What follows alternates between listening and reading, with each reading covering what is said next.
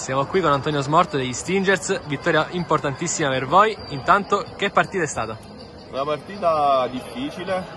difficile perché venivamo da un momento di tanti infortuni, un momento in cui rientra un giocatore, ne perdiamo un altro, rientra Pandolfi, si fa male lo zio Costa la partita scorsa, quindi una partita complicata. Abbiamo giocato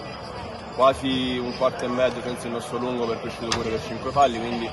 una partita complicata di squadra, finalmente direi una partita di, di squadra, perché come dico sempre i panni sporchi si lavano in casa e fortunatamente grazie a un lavoro di gruppo siamo riusciti a portare a casa questo risultato che per noi era importante. Hai detto benissimo tu, vittoria di squadra, infatti la situazione falli si è fatta complicata verso fine, verso fine incontro, eh, però nonostante ciò con l'aiuto dei giovanissimi del, del, del, del giovanissimi tuoi compagni di squadra hai avuto, avete, siete riusciti a portare a casa questo, questo incontro. Come stai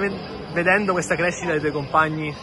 Sicuramente per i ragazzi come, come, loro avere dei punti di riferimento un po' più grandi che hanno fatto un po' più di esperienza è molto importante a livello di, di crescita personale. Diciamo che per crescere i ragazzi un po' più giovani hanno bisogno di un po' più di tempo